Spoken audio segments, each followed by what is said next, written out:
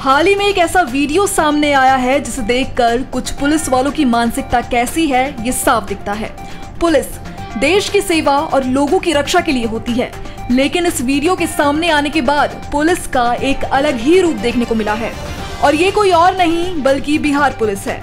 ये वीडियो बिहार के सहरसा ज़िले की पुलिस चौकी की है, जहाँ ड्यूटी में तैनात एक पुलिस अधिकारी शशि भूषण सिन्हा थाने अपने बेटे को जेल से छुड़ाने आई एक महिला से मसाज करवा रहा है। समझ गए? हाँ सुनिए ना तो ये बहुत गरीब है बेचारी महिला, कितना पैसा भेज दे और नकल उकल सब लिफाफा में हम भी भेज देंगे। अच्छा तो सोमवार को आपको पूरा पता, मोबाइल नंबर दे के और सब भेज देते हैं।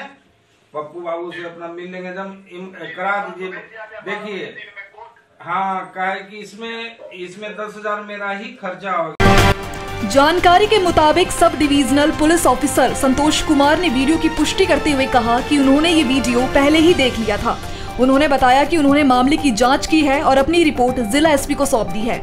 आपको बता दें कि नौहट्टा प्रखंड के दरहर थाना क्षेत्र में एक महिला अपने बेटे को जेल से छुड़ाने आई तो पहले महिला को पुलिस अधिकारी को मसाज देने के लिए मजबूर किया गया।